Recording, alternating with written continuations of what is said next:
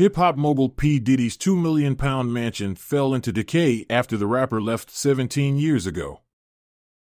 The once beautiful eight bedroom house in Atlanta gradually fell apart and is now covered in dirt and graffiti. Diddy, 54, known as Casa Nirelle, first owned the property in 2003, paying $2.6 million for it, adding to his already expensive home collection across America.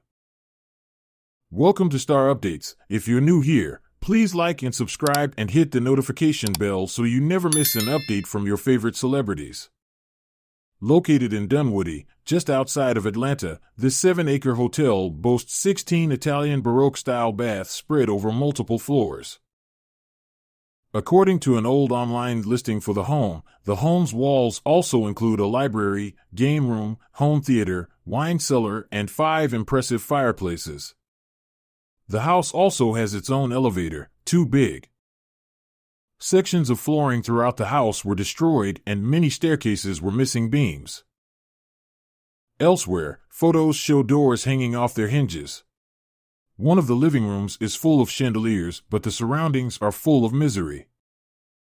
Graffiti destroyed the mirrors on the walls, and tattered floorboards littered the ground next to boarded up windows. The shabby kitchen looked unfinished with boxes scattered on the floor and foam insulation hanging from the ceiling. There was trash on the floor and unpainted stains on the walls ruining the interior of the room. In the middle of it all is a marble kitchen island where dust from the stove, cables, and empty bottles accumulates. Outside is a 20,000 square meter mega house. Feet looks as luxurious as ever, with huge white walls and rows of tall, healthy trees growing on the beautiful grounds. But the majestic gates remained closed for many years, and since then almost no one has entered the territory. As a result, the once beautiful 60,000 gallon saltwater pool and the water in the adjacent hot tub turned a cloudy blue with broken tiles floating nearby. The property's massive tennis courts and five car garage remain unused and nearly in ruins. Diddy left the mansion in the midst of the late 21st century housing crisis spreading across America. He wanted to renovate the house and renovate it, but he never found the money needed to finance it, the New York Post reported. In 2007, the Bad Boy Records founders sold the house for just $1.3 million, losing out on the hefty amount he originally paid. But the real estate investment trust that bought the house never found a new owner and left it empty, just like Diddy. In recent months, the American music mogul has been the target of several lawsuits, including sexual assault. On Monday afternoon, police raided two of Diddy's homes. The Associated Press reported that his homes in Miami and California were extensively searched as part of a federal investigation into sex trafficking allegations against the rapper. The Department of Homeland Security doesn't know exactly what they're looking for, but video of the raid in California shows the tables have turned completely.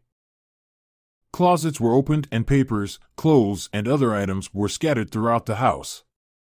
Doors were ripped from their frames and secret safes were skillfully broken into.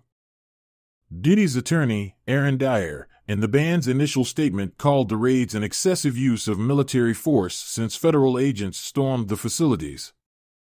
Despite media speculation, neither Mr. Combs nor any members of his family have been arrested and their mobility has not been impaired in any way, Dyer said.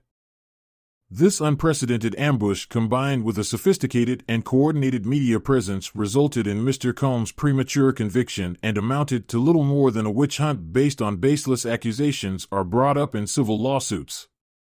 No criminal or civil liability has been established for any of these allegations.